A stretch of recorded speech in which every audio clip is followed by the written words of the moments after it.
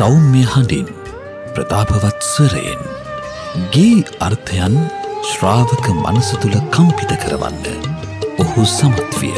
සදාකාලික නූලෝකේ සදාකාලික මොරටු සරසවියේ ගුරුනැගිලි ආර්ථික විද්‍යා ශිෂ්‍ය සංගමයෙන් මගින් වාර්ෂිකව පවත්වාගෙන ලබන ගී සිසිල ප්‍රසංගයේ මෙවරද පැවැත්වීමට කටයුතු සංවිධානය කරන තිබෙනවා. මේ සුභාවිත ගීතය ප්‍රිය කරන සැවම මා හිතනවා අප සමග සහභාගී වෙලා නැතයි කියලා.